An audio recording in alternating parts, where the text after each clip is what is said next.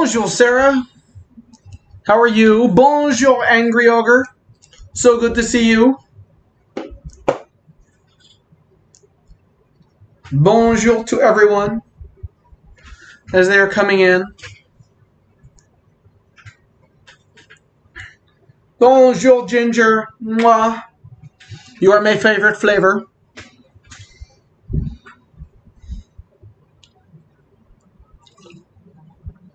Ah, bonjour again, Madam Madame Proctor. So this is a true story. Uh, we've got uh, Madame Proctor is in the room right now, um, and uh, she's the only proctologist in the show. Uh, now, rumor has it that's uh, not actually true. She's not actually. That's just a clever name. But you know, uh, I, I, I don't I don't care what your hobbies are. It's honestly it's a hobby of my own. I'm uh, I'm I'm I'm happy. Let's see. Uh, bonjour, the shy fox. So I'm assuming the shy fox. I'm sure that's what is that? Uh, you're you're the the scheduler, right? So bonjour, Lisa. Oh mon dieu, all of these people in here. This is so exciting. This is so I, I'm I'm not sure that I can handle this many people at one, two, three, four, five, six people at once. Oh mon dieu. All right, so if you haven't said hello yet, please say bonjour when you come in so that I know that you're here. Uh, I'm going to wait a little while for people, to come in because I know that the um, the system doesn't even allow people into the room until uh, until the time has passed, until until the time has, has, has shown up. So I'm going to wait. Um, you know, and I uh, you know I might find out. Let's see, I'll. Uh, you know, so so sometimes I uh, I'll, I'll ask this question uh, as people are so so um, yeah so I'll, I'll, ask this question. So i do this show a lot at comic cons right? And uh, and so or at comic cons and at renaissance festivals. It's an interactive experience. I bring people up with me. Um, you know I, I, I, make them my props. Uh, and so uh, and so one of the questions that i ask people a lot when i'm getting ready to do this show is um, how many people uh, have met me at some point, well, here's how I usually say it. I say, um, uh, by uh, by raucous thunderous applause, how many of you have met me at some point during this weekend and therefore have some idea of how this show is going to go? Bonjour, Teresa. Seven Teresa seven eleven. All right. So you, that's seven eleven. That means that there are a lot of you and people go in you a lot. I understand. Um, so yes, if you haven't said bonjour yet, please say bonjour so I know you're here, so I can say bonjour back to you.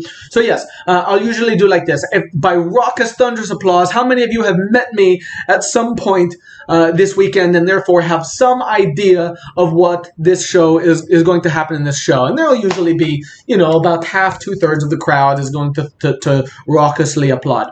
Then, uh, then I say, all right, now by awkward raising of the hands and diverting of the eyes. How many of you haven't met me before, but have uh, maybe read about this in the program, and I thought, oh, that that seems kind of neat, uh, and uh, and therefore you have no idea what you're actually getting yourself into, and so there will be people who will you know raise their hands and avert their eyebrows in that way. So um, I would like for you uh, at this point to go ahead and uh, and and enter your uh, your submission right now into the chat window right down here, and you can say what uh, what kind of what kind of uh, person you are. If you are a raucous thunderous applause person, or you can say if you are an awkward raising of the hands and, and averting of the eyes uh, kind, kind of person. I think I've, I've, met many of the people here. I recognize a lot of the names.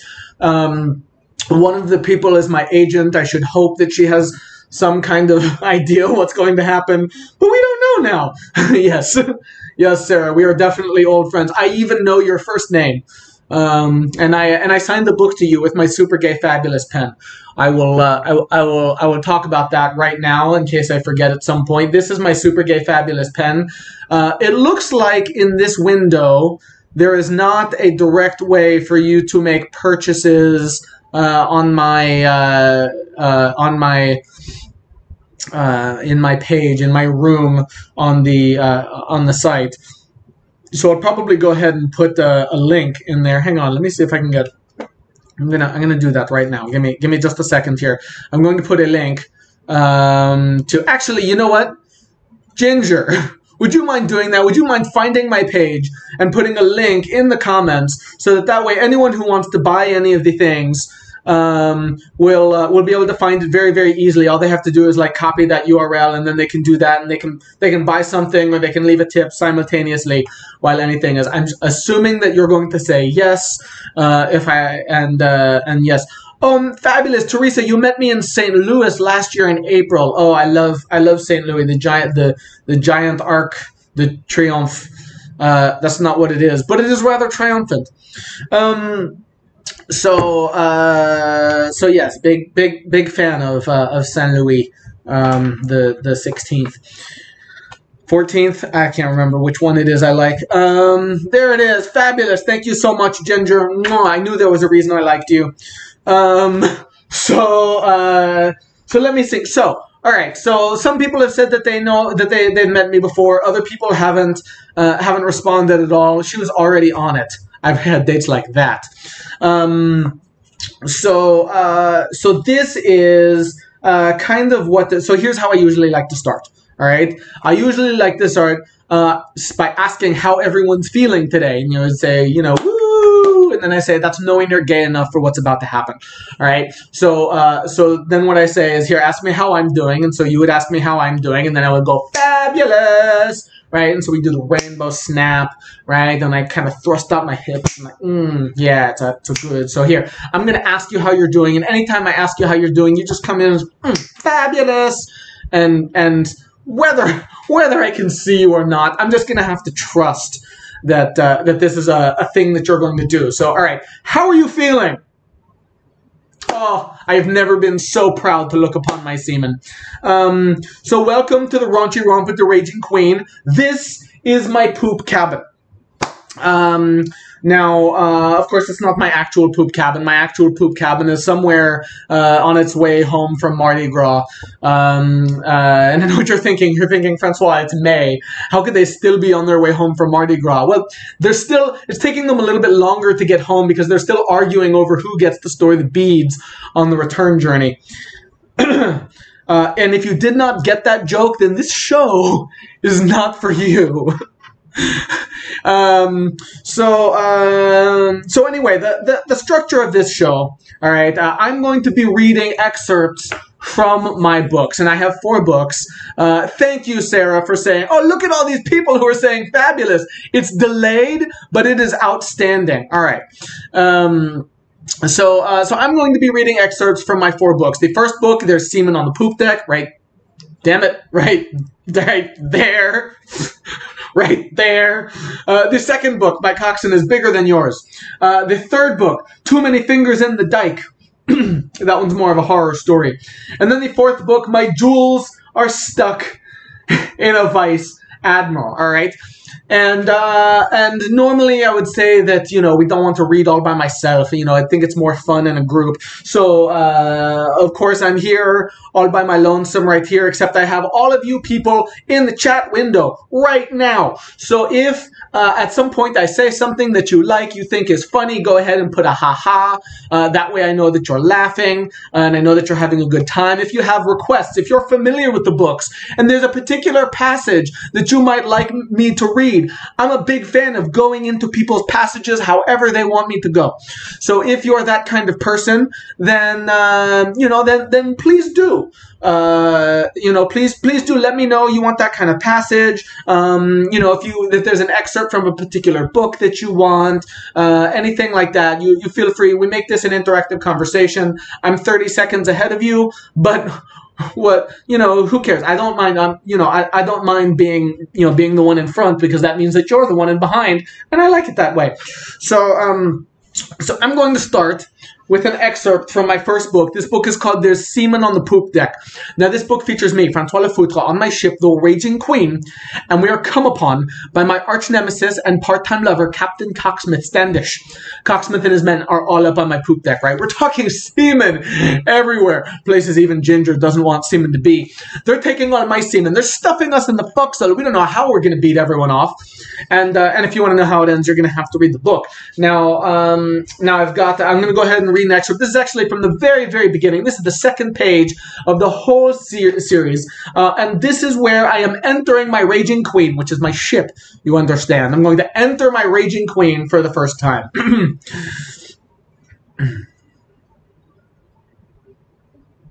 the Raging Queen had two openings. One in the front, at the mouth. You can't see it with the semen. Hold on, let me move this way. All right. One in the front, at the mouth of the ship, and the smaller opening at the rear. the rear entrance had always been my favorite. The passage was long and narrow with a smooth finish. I am not the largest of men, but even so, it was always a, a tight fit, which made it quite the experience. It was as if, as I entered her, she was squeezing me tight, willing me never to go. I ran my hands along her through the length of her corridor, fingering her delicately in a loving embrace. My raging queen moved up and down underneath me in undulating waves, almost shuddering under my touch. You understand that the Raging Queen is my ship, right? I want to make sure that that's perfectly clear, all right? Nothing inappropriate happening, right? The Raging Queen is my ship. Moved up and down underneath me in undulating waves, almost shuddering under my touch. She creaked and moaned screamed and gyrated. And though she was for now under the control of my semen, it was I, only I, whose every order she followed. She submitted to me first, always to me, and I liked it that way. Yes, it was safe to say that every time I entered the Raging Queen, I fell in love with her all over again. I took a few steps and then paused a moment. Never wanted to go in too far at once, better to do it slowly, a little bit at a time, build up the anticipation, tease her. Almost, she moaned louder, bucked harder, screamed with more fury. I had her right where I wanted her. I began to hear the mutterings of the men above me. That might have distracted a lesser man, but to me, it only made me want to go slower.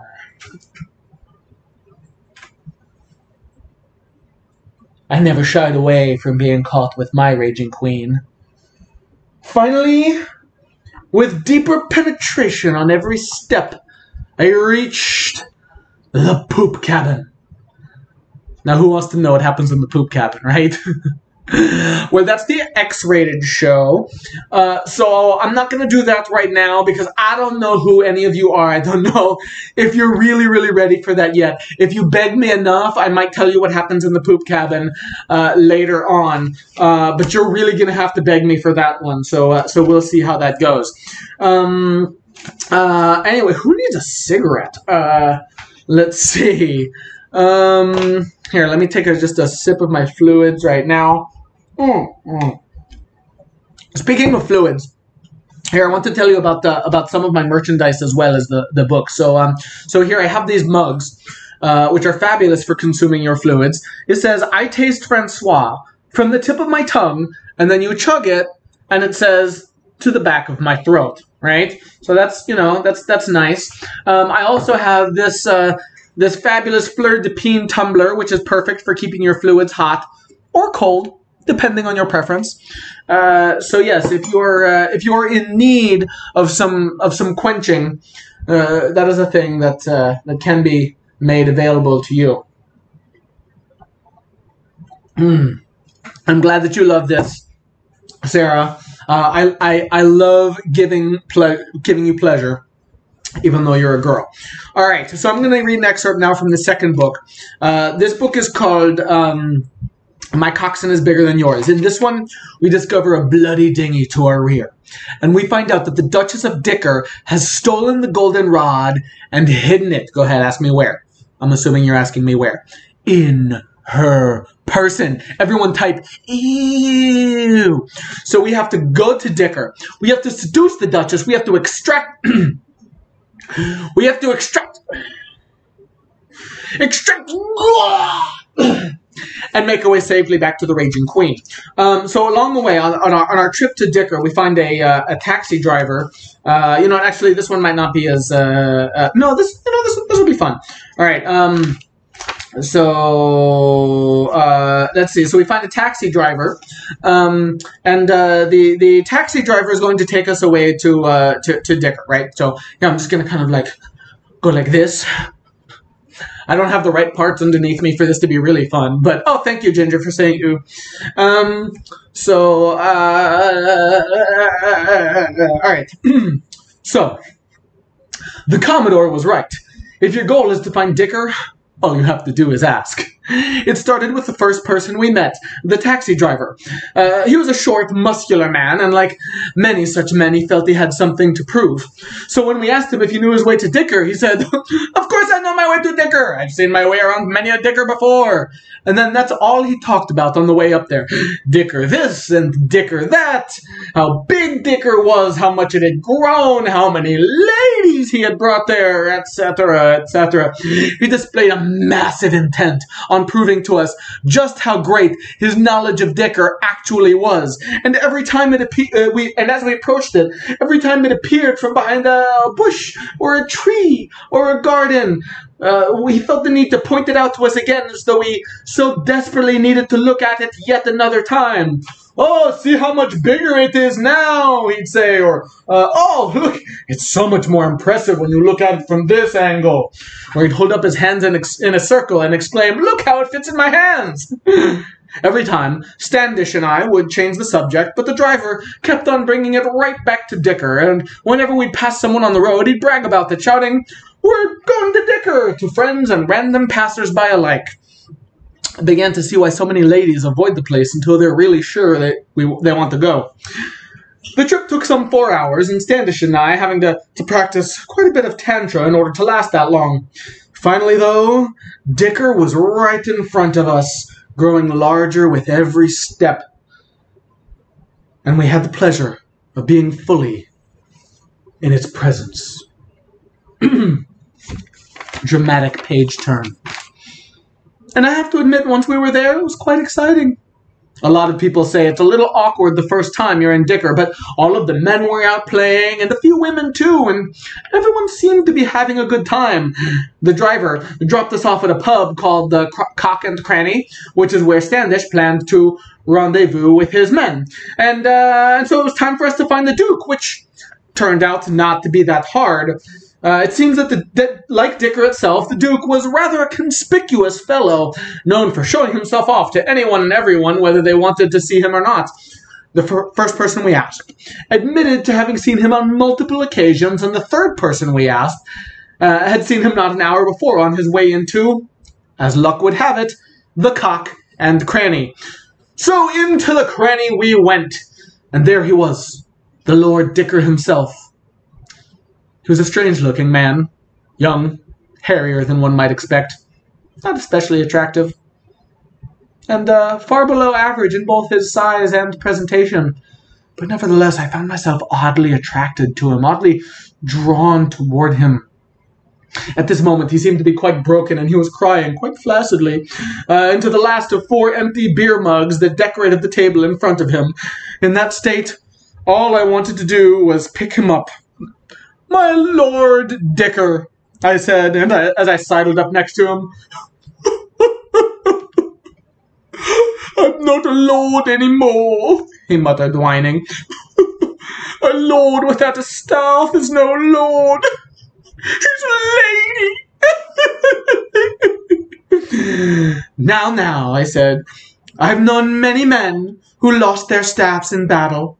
They're still men, every one. They're just bottoms now. The Duke burst into tears like that. Clearly, we were getting off on the wrong side of the bed sheets. I had expected, uh, given where we were and his reputation, that he would have even less modesty than, I don't know, an Olympian at a mud wrestling contest. But now I could see he was a sensitive soul who needed to be handled much more delicately and teased out of his shell. I donned my most sympathetic voice. Look, I said, touching my hand to his. Don't you worry.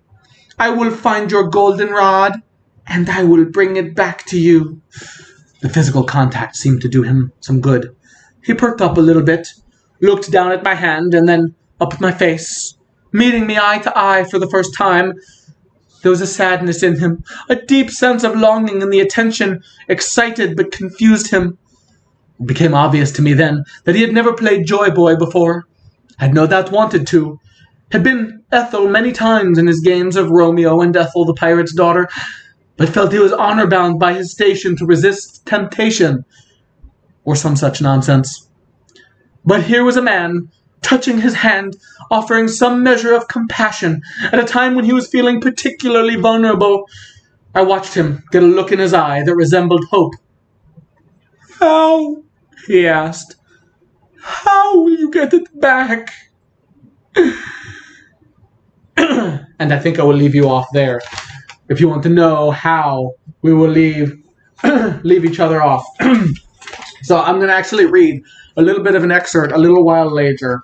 Uh, and this is um, uh, an excerpt from a, a section. Uh, so this is a chapter called "The Rainbow Privateer," and I actually have some uh, some some music here. Uh, I'm going to play it, and I want you to tell me when I play this right now if you can actually hear me talk, hear the music reasonably at, the, at a reasonable volume, uh, and hear me talking at a reasonable volume, or if the music is too loud, or if it's too distracting, or anything like that.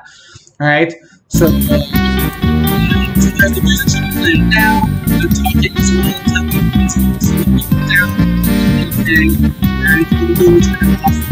and I'm t- just turned it off. And uh, and uh, and now so tell me if you heard that all right? And uh, in the meantime while I'm waiting for you to answer I'm going to explain to you a little bit about what it is that you were listening to just then. So uh, as we're going through the streets of Dicker we come upon a club called the Rainbow Privateer. And um, uh, and the Rainbow Privateer um, there's uh, has a there's a sign that features a pirate who is nude but for a strategically positioned hat, right? So kind of like right, just like that. Okay.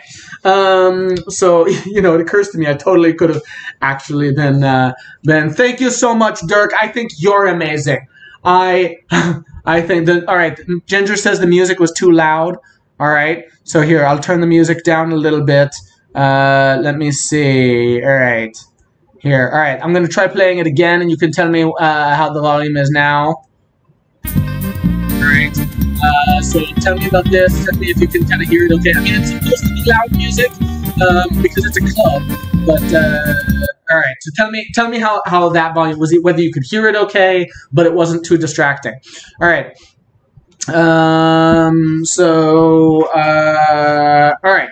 So yes. So the the uh, the club is called the Rainbow Privateer. It features a sign uh, features a pirate. Uh, the sign features a pirate who is uh, nude but for a strategically positioned hat, and it bear, bears color uh, colors consistent with the club's namesake, right? So it's a, a, hat with rainbow colors coming out of it, right? And uh, and there is drum and balalaika music playing, uh, which was the music that I was just uh, just getting ready to play for you just then. Uh, a little better, still made you muffled. Well, that's unfortunate. Uh, that was better, but still kind of distracting. All right. Well, you know what? So it's drum and balalaika music. I'm going to play it loud. You can hear it a little bit. This is what drum and balalaika music sounds like.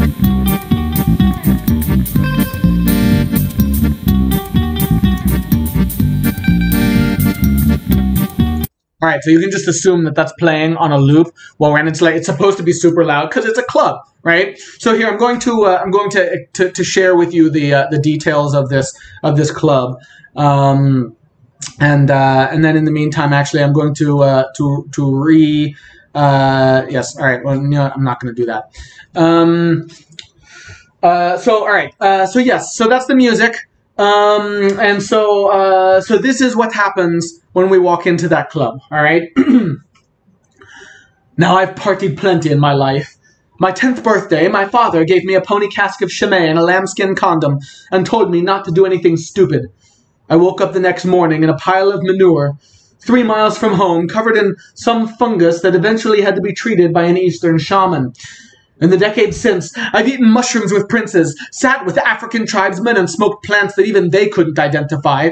Uh, uh, gone to bed with more men at once than I could count on all my body's protrusions, and consumed so many different kinds of bodily excretions that if you baked me at 375 degrees for an hour, I would probably turn into a cake. a fruit cake. but never in my life have I experienced something quite like that club. the drum and balalaika was played through a series of horn-like devices, which amplified the music to a volume so loud it might have crushed the lesser man's brain. Hanging from the ceiling was a glass ball faceted with mirrors, which reflected multicolored lights, which shone from torches, uh, that reflected the multicolored lights that shone from torches at every angle. The ball was rotating, creating this sort of psychedelic rainbow effect, which you could spend hours watching. On top of the bar, men were dancing. Not just men, but muscled men, almost entirely naked, their whole bodies oiled and glistening in the firelight, wearing nothing but a leather pouch to hold their gyrating giggle sticks on the, pl- on the floor. People danced with each other, in costumes the variety of which I had never before seen. Some wearing regalia that matched the opposite gender and wearing it so well that mistakes must have been quite common. Others wearing assless hosen, leather naval uniforms, people dressed up as ponies being smacked by riding crops, and men quite nearly as naked as the bar dancers, everyone grinding up against each other as if they all, and uh, so vigorously that they all looked as if they had three legs. I stood for a long while, taking in the sight, until a man dressed as a police officer shoved past me and joined in the dancing. I picked my jaw off the floor, put a hand on the shoulder of one of my petty officers, and told him, I'm home. The next several hours were something of a blur. The drug we bought off the street before we entered the club kicked in, and all I remember doing the whole time was dancing, sucking on a pacifier, and waving about the set of ingenious glass sticks that had a temperate, constant, slow-burning ember glowing inside. Every now and then I'd see the Duchess and remember the, the mission for which I had ostensibly come to this entrancing heaven. But then some twink would rub up against me, and I'd yield my attention to his far more pressing matters. Some indeterminate period of time later, I snapped rather suddenly back into reality. By this time, my head was throbbing. Sorry, by this time my head was throbbing. I'd sweat through every article of clothing and I'd stained my hosen in at least four different places. Then some cacophony began ringing in my ears, uh, an alarm, a siren, at first, it seemed to fit quite perfectly with the tone of the music, but when bells followed and people started to rush outside, and then the music stopped, but the sirens and bells continued, I had to regain my sensibilities. Having no clue how long it had been since I'd seen the Duchess, I followed the crowd out of the Rainbow Privateer and onto the streets of Dicker. The sun was about to rise. and we could see the light beginning to come up in the direction of the Dicker Chateau to the east. Everyone was running in that direction, and I worked my way through them, seeing if I could locate her. But then I noticed the sun also rising in the back of the privateer, in the opposite direction. I looked back and forth, found Venus up in the night sky, made a quick calculation, and then realized the Dicker Chateau wasn't to the east at all. It was on fire. There you go. All right, so that's that section. Hang on, I caught something not the syphilis. all right, uh, better still All right. Um, all right, so glad that you liked that. So those are some fun parts. I don't want to give away the entire story, but uh, but that was uh, those those were a few excerpts from that second book. Uh, Ginger, if you don't mind reposting that uh, the link so that anyone who uh, uh, who wants any of the merchandise right now. So all of these books again are available at uh, at our page um, or at my at, at my at my page in my in my room. Um, so the the books um, they do get progressively thicker and therefore more pleasurable as they go on. So they're uh, they're it's five for the first one, six for the second. Uh, then the third book is called Too Many Fingers in the Dyke, obviously a horror story. Uh, that one's seven, and then uh, and then eight. Uh, is for my jewels are stuck in a vice admiral. Uh, I'm not gonna lie. That one is an uncomfortable read, but I find if you just breathe through it, it's actually somewhat pleasurable. Um, so yes, they go five, six, seven, and eight. For an extra dollar, you can get them signed. And uh, yeah, so I'll, I'll just, I'll, I'll, and I do it with my super gay fabulous pen. If you didn't see me talk about this, so I use real quill and ink. So I get my ink all over your, um, uh, so so I get my ink all over your your, your pages and uh, and yes, I'll, so i can autograph it to you as well. Um, I also have lots of merchandise there. I have this special merchandise that is only available uh, this weekend, uh, unless I sell a bunch of them. Uh, and so this says, "Spread the love, not the coronavirus." So normally, you'll see normally it says spread the love, not the syphilis. That's one of my catchphrases. Uh, for this weekend only, it's saying spread the love, not the coronavirus. Uh, I also have, uh, oh yes, and then, so Ginger is also saying buy them all. So they're 5, 6, 7, and 8, but you get all four for 20. Um, so uh, if you, because when you're getting foreplay, you want to get off right? Um, so it's four for 20, and then I think it's, it's either 25 or 30 to get all of them signed as well. Uh, and yes, uh, I do actually have audiobooks as well. I don't know if there is a way for me to sell them through here, so I don't actually have uh, have that set up, but they are available on Audible, uh, and they are available at uh, on CD Baby. Um, if you uh, if you go to to the website, you can you, to my website, you can buy them there. Um, so uh, so yes the audio audiobooks are available as well i know i'm not supposed to be selling things that aren't on, on here but uh, i will don't don't worry ginger i will i will kick you back uh, if if I sell an audiobook this weekend. Um, so uh, so yeah, so that's nice. So then you can hear me deliver my entire seamen sexology orally if you're getting the audiobook. Uh, I'm also holding up the Fleur de Pin handkerchief. All right, this is fully customizable. I can make it any color you want. This one is kind of a striped pink color, all right, because, you know, syphilis. Uh, but yes, you can actually get these monogrammed as well. So you can get, have your initials right here. This could be, hang on, this could be you, right, with the peen going right up in the middle of you. Um, so those are 20 or uh, 25 or 15 or 20 monogrammed. Uh, and you can get them any color you want uh, and, and anything like that. And these are just perfect for uh, cleaning up any messes that can, might arise from reading the books. Dirk says I can sell the um, the audiobooks on here. I am uh, I am not in, uh, entirely certain how that goes. It's honestly something that I mostly just forgot about.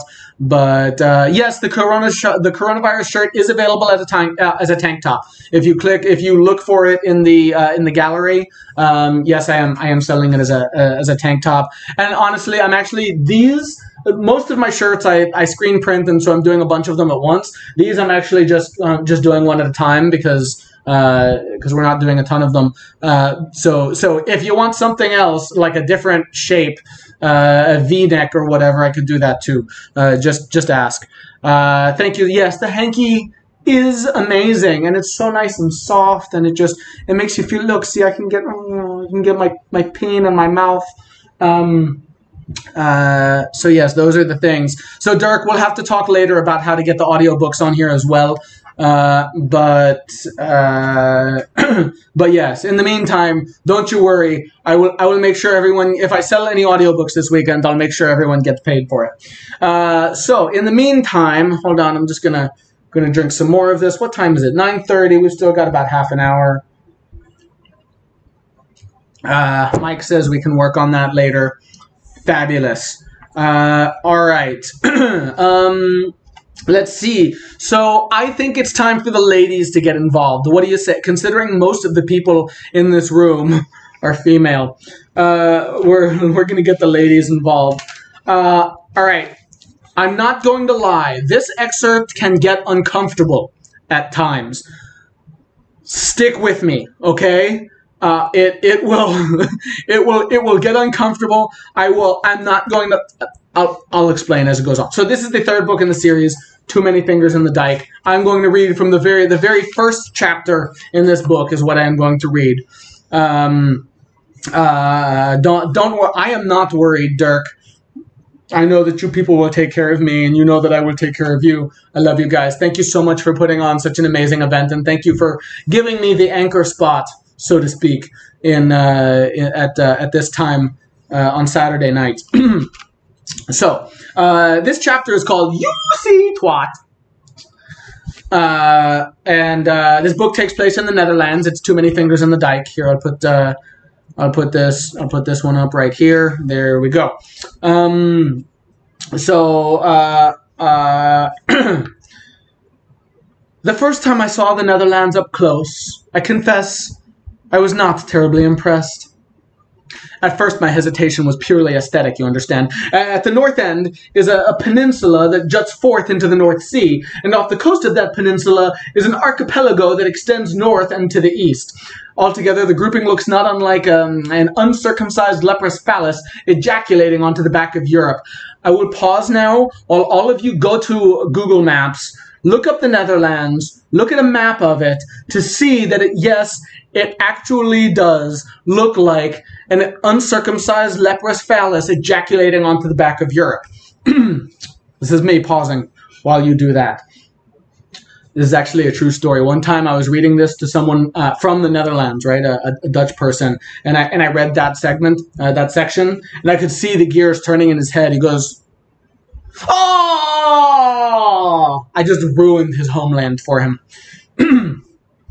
The diagnosis is not entirely inappropriate given the rate of unwanted fluids constantly entering the Dutch mainland. You see, the Netherlands are not called that because they are geographically south of anything, but rather because a great portion of them lies below sea level.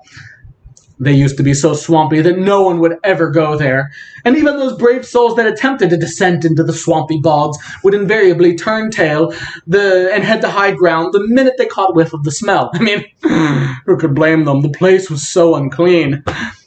Ironically, though, the bogs that made the Netherlands so malodorous also made them remarkably fertile, and so people were innately attracted to the Netherlands braving the swamps to plant their seed wherever they could find the slightest agreement.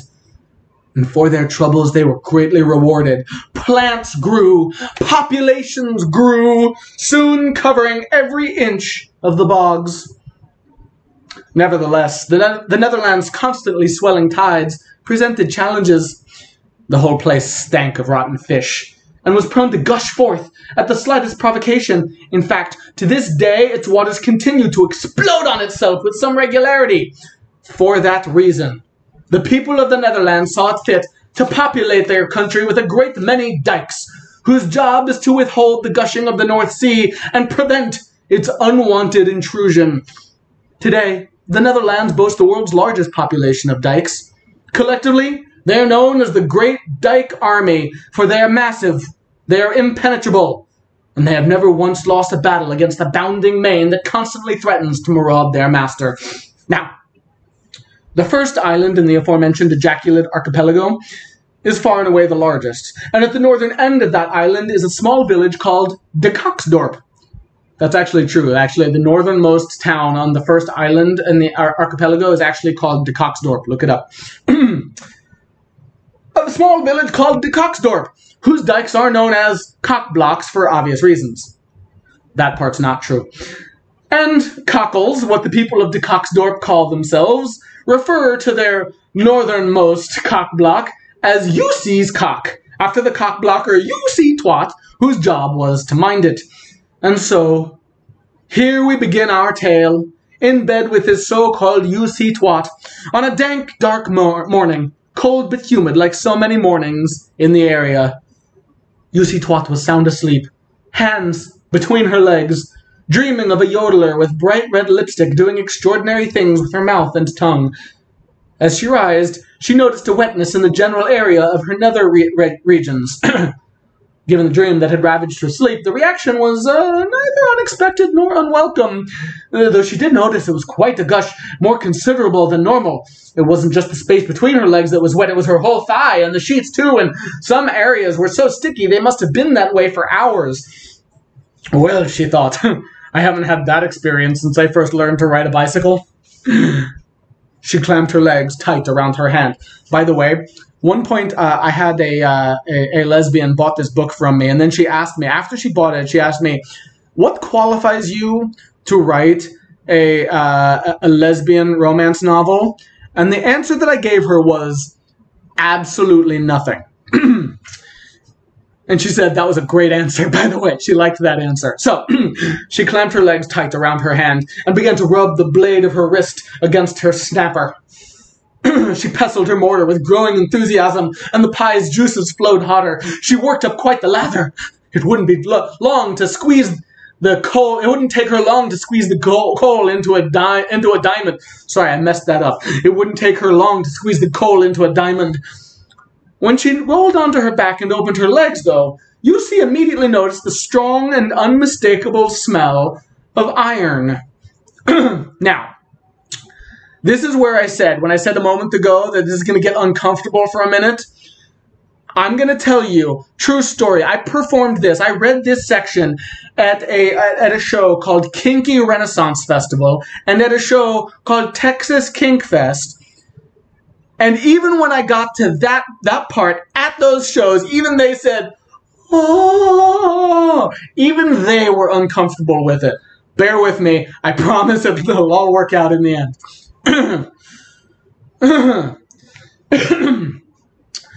Surprised though she was, she wasn't expecting high tide for almost a week, and she was no stranger to vampire foreplay, so she simply rallied herself to move from the one-handed waltz to the two-finger tango, figuring the mess was already made, she might as well enjoy herself and worry about cleaning it up later.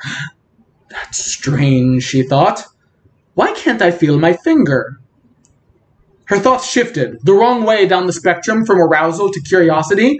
But the first physical sensation she felt when the carpal knuckle made was when the carpal knuckle made contact with the mound of her danger clam. One of my favorite euphemisms, danger clam. my other favorite euphemism, thunder muffin. shooting a sharp current of lightning violently through her arm, which reflexively recoiled in shock. She fumbled with the sheets, scraping the same knuckle as she did so, and again feeling a current of raw nerve endings firing through her arm. All thoughts of beaver dancing were long behind her now. She threw off the tangled sheets, wet and sticky from dried blood, and exposed her body to the frigid cold, looking first at her legs, then her crotch, before settling on her hand, what she knew to be the real source of her distress. The forefinger of her right hand. The forefinger of her right hand had been severed. Hold on, I need to find my spot again. All right, there it is. The forefinger of her right hand had been severed, leaving the stump that remained raw and serrated, as if it had been gnawed off by a wolf. Dark red clotted blood appeared where her finger should have been, the scab partially torn off by her recent gesticulating. The reopened wound oozed blood, but it was a trifling amount compared to the quantity of sanguine fluid that covered every inch of the bed and herself. Her mouth agape, Lucy struggled to draw in a full breath. She coughed, sputtered, choked. Then, when she expanded her lungs successfully, she screamed. I'm not going to do a scream. There are kids sleeping in the house next door. But, uh, ooh, my throat. Danger Clam and Thunder Muffin. I know that's the name of my of uh, of my all girl band. When I join one. Ginger, you need to be the manager of a uh, uh, the manager of an or an agent of an all girl band named Thunder Muffin and Danger Clam. It'll be perfect. It's like uh, they'll be like Garfunkel and Oates, uh, but even more vulgar if you can imagine it. Um, so uh, let's see. I think I'm trying to think. Huh? Let's see what uh, what time is it? It is 9:44. Um, I think. So uh, let's see. I might have time for one uh, for one or two more. Well, I might have time for one more before I uh, before I do my my uh, my closing song. I actually um, let's see. Yeah, so I'm going to do an excerpt here uh, from uh, from book four. My jewels are stuck in a vice admiral. Um, by the way, I haven't have I shown you all of the? Yeah, you know what? Whatever. I'll I'll uh, I'll, I'll keep on. yes, Sarah wants to be a joint manager of Thunder Muffin. One of you can manage Danger Clam, and one of you can mo- manage Thunder Thunder Muffin. Uh, I think of the Houston rapper Megan Thee Stallion. All right, I'll check it out. Uh, Ginger, if you could go ahead and and uh, and post another link to the um, uh, to to my page so people uh, people can find that. Um, and because uh, we're we're almost done here. Thank you. Um, so uh, this book my jewels are stuck in a vice admiral. In this one, the head of the whole of the French Navy, whose name is Jacques Offiedik, uh, we call him Jacques Off for short, uh, his ship gets stolen from the harbor at Brest. By the way, Brest, Also, real name, real place name. Also, and I'm not even making this up. It is the French naval headquarters. Um, so, um, uh, so the the the Jakov that, that's he, that's not actually a real person.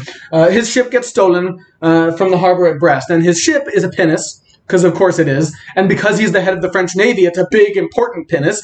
And uh, deep within the, those that pinnace are a set of drawers, and we have been tasked with uh, with finding those drawers.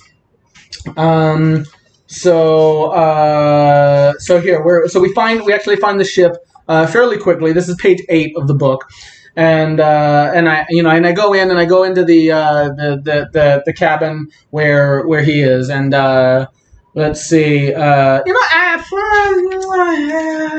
I'm not convinced that this excerpt is going to be good in this. Uh, and then let me see what else we have. Uh, let me see. I'll, I'll, try. I might try a different a, a different section. Uh, hang on. Oh, you know what? This one, this one might be good. All right. So scratch that. Well, actually, so all of those things happen. I'm going to read something from a little bit later in the book. Um, uh, these are great reads. Chuckle the entire time you're reading. Don't read these in bed, or maybe you should definitely read them in bed. They'll keep you up at night. Um, so uh, let's see. So we go. So we. Um, uh, uh, so I'm. I'm. I'm trying to think what you need to know in order to do this. So we've got. Uh, there's a character who we meet in the third book whose name is Randy Butterbottom and uh, and we come back and find him again. He's the Baron of Cockfosters, and so we go to find him in Cockfosters. Um, uh, and uh, in order to help us in our mission, our mission becomes to find the King Key Sextant, which is a strange and bizarre type of sextant, right? People do unspeakable things when they're having the King Key Sextant. Um, and so we have to try and locate the kinky Sextant, and I'm going to find Randy Butterbottom is going to help me locate the kinky Sextant. Um, and uh, and he wants us to go find a, uh, a, a, mystic whose name is the Oricockerel. So this is a section where we are going to the Oricockerel. the Oricockerel, it turned out, was a great bustard, a brand of avian, native to southern and central Europe, whose facial feathers resembled the Fu Manchu and who was therefore presumed to have mystical powers. This particular bustard prophesied from a sacred temple called Coxwell, again, real place, a few miles from Randy's home. Legend had it that this strange bustard was at the source of Julius Caesar's drive to invade the British Isles. Caesar, wanting to prove that Rome and not Delphi was at the center of the world, intended to release two eagles to circumnavigate the globe. But since he couldn't find any eagles, he did it instead with a pair of bustards. Bustards, however, are notoriously uncooperative and prone to dementia. The female immediately died of syphilis, while the male traveled due northwest, and it was Caesar's attempts to define the degenerate bustard that met with such resistance from everyone he attempted to probe. Thus he came, thus he saw, and thus he conquered most enthusiastically, all in search of some enigmatic bustard. He finally found the bird in the middle of an otherwise unremarkable chicken farm in a grassland to the north of what would eventually become London. It was perched on top of a well, surrounded by thousands of fowl, and the farmer who owned the land reported that it had been perched in that spot for a decade, no matter how hard he tried to remove it. If he caged it, his well would dry up and his crops would die, until the bustard escaped and made its way back to that same spot. At that point, the well would fill up again and his crops would once again grow. One time he tried to kill it. For days afterward, his chickens mysteriously died. Then one day, the Buster's reanimated corpse was there on the well again, and his chickens became ever more productive. So while he couldn't find a way to get rid of the stubborn bustard, he now saw it as a sign of good luck, and he kept it there. Naturally, Caesar killed the farmer, took his land, established the prime meridian, and built a monument around the Cox Well. Hence, Coxwell. The monument itself was simple made from Hollybush sandstone, which has a dark greenish-gray color and held a flat, a fat conical shape, some 50 yards, blah, blah, blah, blah, blah, blah, blah, blah, blah, blah, blah, blah, blah. All right, so we're going, oh, here we go. there was a mystical fog curling out from the mo monument's opening, which I admit gave me some pause, since the last time I'd seen fog quite so thick it had violated me mercilessly. You'll have to find the third, read the third book to, to, to find out about that. But Randy ushered me inside the Coxwell Monument, spurred forth by the cooing of the Oricockerel itself. When I was hit by the blind wetness of the mist, I was reminded of the Friday night foam parties we have inside our foxhole, and my inhibitions immediately started to give way. So I followed, eagerly. Our way to the center was guided by the rank odor of bird droppings that got stro- stronger the deeper we went in. Eventually, the fog broke to expose the famous well. Randy got on his knees in front of the bird and motioned for me to do the same. We come on our knees with great circumspection to worship at the coxwell. Please, Oricockerel, fill us with your wisdom. the Oricockerel responded with a noise that sounded like someone farting through a kazoo. I should pause here so that you can actually look up what a an, uh, a, uh, a great bustard sounds like. No shit, that's what a great bustard sounds like. sounds like someone farting through a kazoo. All right. Uh, let's see. Uh, we will drink your juice, Oricockerel, Randy said. We will swallow it all so that we may know a taste of the oricockerel's essence. Randy opened his eyes and, uh, keeping his head bowed, he tilted his head in my general direction. Uh, I, didn't understand at first, but after he repeated the notion, I realized he was pointing to a hand crank next to me. So I crank it up. Uh, there's a pouch in there. I drink the, the liquid that's in there. And as I drink, uh, I began to hear this uh, this low, trilly voice going, Yes, that's right! Swallow it all! Very good! Thank you, Oricockerel, for giving us your serum, the milk of the Coxwell. For pleasure! Hang on. For pleasure lies with the birds. Um, you're not gonna be able to. The pleasure lies with the birds and the bees. I looked around, but the only thing I saw was the bird pooping, the filthy bastard. But then I heard the voice again. It seems old age and continence decrees. Is that? I looked at the bird. Did you? Pray seek thou not temptation, waste with pimps. My time 'tis not for me but fleeting glimpse. Pray tell me now the quest on which you seek, my chin to raise and to open upon thy beak. And now I'm like, what the hell was in that water? Right? And Randy's like, I am here in the presence of François Le Foutre, who seeks a strange and mysterious item known as the King Key Sextant. He has requested my assistance, but I am conflicted. I've never ventured that far out of my comfort zone. I'm quite vanilla, truth be told. The oricockerel turned around a few times, did a few squats, thrust its hips out, and then opened its mouth to speak. I no longer heard the kazoo sound, though, but its voice, clear as duck butter. the syrup, till tis vanilla, much in taste, but spirit, tis a syrup which to baste thy life in meaning. Be thou not such fool to miss a chance to worship at the jewel. Now I don't know what the hell is going on, right? So I'm like, uh, you know, uh, so so I ask a bunch of questions, right? And then the voice says. The Queen from Fontenay! That's me, I'm from Fontenay. I'm the Queen from Fontenay. The Queen from Fontenay has much to give, its legacy, its life, it will outlive. Nay, look thou not, in place unnatural, thy jewel is stuck in an admiral. I raised my head to give my full attention for the first time now to the oricockerel. I'm sorry, can, can you say that one more time? the bird flapped its wings again and began humping the ground. The queen from Fontenay! No, no, no, no, no, I heard that part. What I'm, I, I'm asking, like, the part about, did you say the king key sextant is in a vice admiral? The oricockerel's ethereal voice goes, Think'st thou who frolics gaily daily game canst thou avoid? Twill lavish thee with shame thy quest and life with choices radical. I thee, thy jewels in an admiral. I nodded my head. I didn't really understand what the hell the impenetrable bastard was saying, but the last part was pretty clear. My jewel is stuck in a vice admiral. Thy jewel is stuck in a vice admiral. Son of a bitch! so uh, yeah, so that's that. Um, it's a little bit weird, I know, but uh, but it all kind of makes sense at some point, and and I think it's a little bit literary. You know, honestly, like I, like I wrote it, it's in iambic pentameter. Uh, this one also has drawings in it. Hang on, uh, let me think. So uh, so here's here's a here's a nice drawing in this book. Um, so um, so yes, I thought normally I uh, I would end this with uh, with a song. Um, actually, you know what? I'll go ahead and end this with a song from this book as well. So uh, let me let me th- hang on. Let me let me find. I've got I've got a book here. Hang on one sec.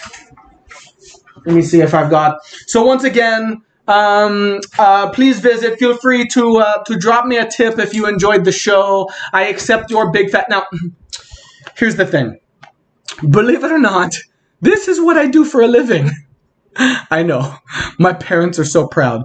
Um, so please uh, do fill me with your big fat tip if you enjoyed the show. Um, you know, as with everything, the bigger the tip you put in, the more pleasure you get out. That's actually not even true in this situation, but uh, uh, but maybe the bigger the pleasure I gave you, the bigger the tip you can put in. Uh, feel free to buy any of the merchandise. Feel free to uh, you know ask for autographs or whatever else. Um, so now I'm going to do a uh, a, a song here. Um, let me see. Um, uh, hang on. Uh, oh, Mel, they don't have it. I don't have it. Oh, never mind. All right. Um, all right, never mind. So uh, I will sing a song real quick. Now, this is a famous song, and so some people, hey Proctor, I'm not ready for this, and it's been a great laugh, especially with everything that's going on. I'm glad. I'm going to so come back to this this site. I'll probably do this show or some variation of this show um, on this site once a week from here on out. Because why the hell not?